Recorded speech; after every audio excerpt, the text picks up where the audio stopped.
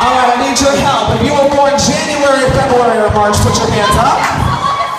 You're now a one, okay?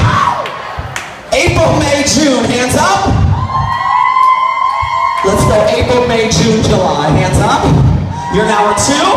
August through December, hands up.